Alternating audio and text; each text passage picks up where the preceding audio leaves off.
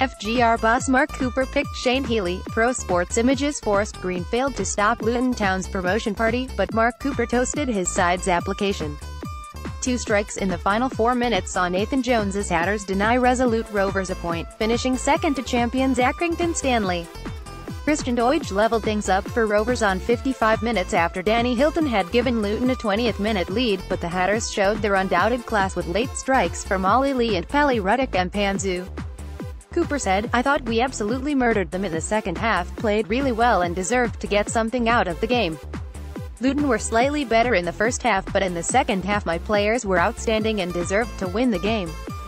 We are dominating a game and it looks as though we are going to go on and win it and when you're at the top of the league you earn that bit of luck.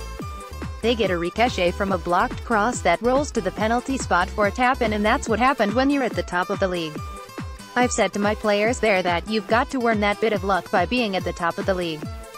Come to the team that are getting promoted and absolutely owned it in the second half.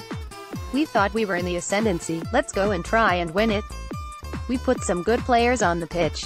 Every player that played on that pitch today was outstanding. Let's get one thing right, Luton are a really good team but we outplayed them in the second half today football-wise and that's a big thing for us and we have to carry that forward now. I challenged the players today, we want to be involved in these kind of games next year every week, top of the table clashes.